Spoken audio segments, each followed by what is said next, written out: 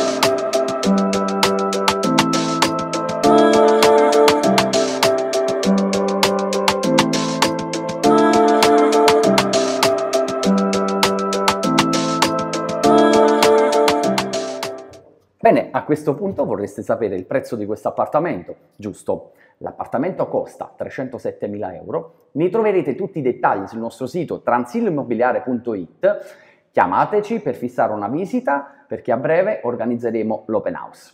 Ciao! Comunque io la comprerei.